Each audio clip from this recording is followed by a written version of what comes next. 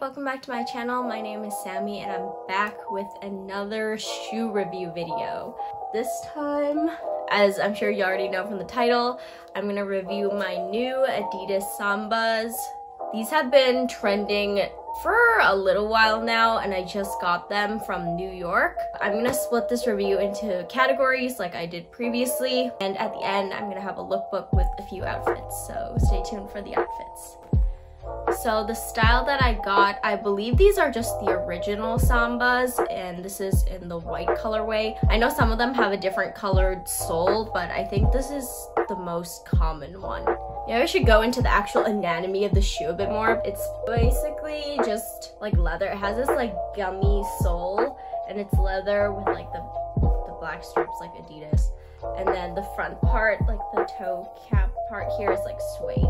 This is actually men's. I got this in New York at the Adidas store in Soho. I wanted them for a while, but they just weren't sold here in Vancouver or even if they were, they didn't have sizes. When I went to the Adidas store in Soho, this is actually men's, but they had a lot of smaller sizes. Honestly, when I went to New York, I was hoping that I could find these because I know a lot of people in New York wear them.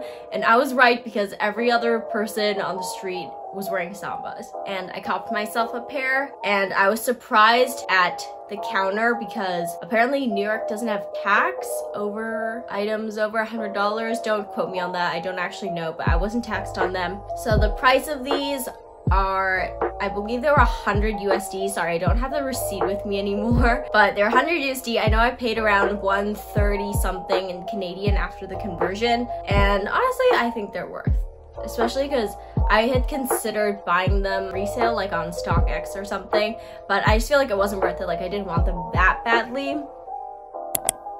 So next category is sizing. So what size did I get? Because again, I had to get a men's size. So normally I'm usually a woman's six and I think almost all of my sneakers, it's like 23 centimeters. One I got, this is a men's US 5. And at first I tried a five and a half, which still fit. Obviously it was a little bit roomy, but it wasn't gonna fall off or anything.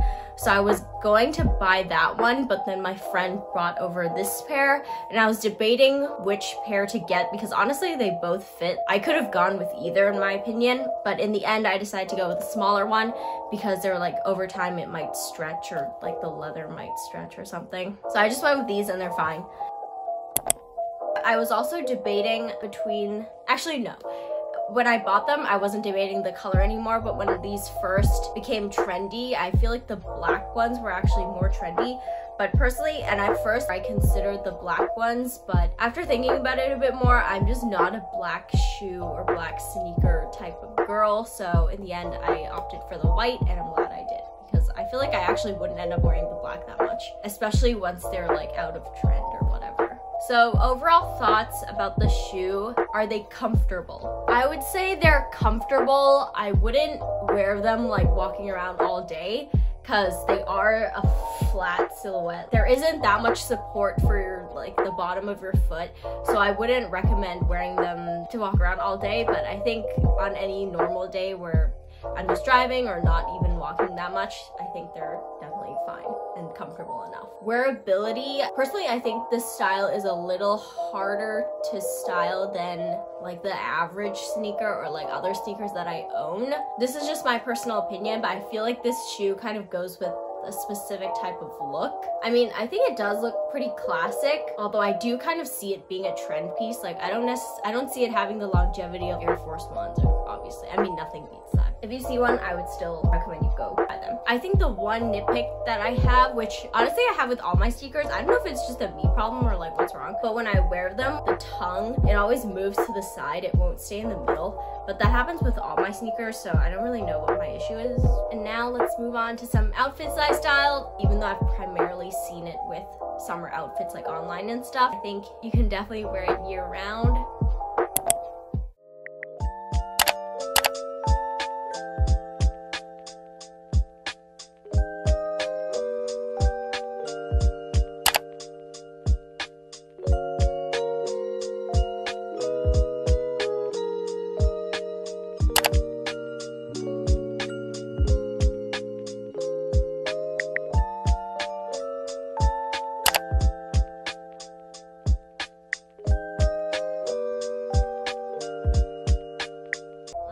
Hope you enjoyed this video. Let me know if you end up getting a pair and how they work for you. And I'll see you in my next video. Bye!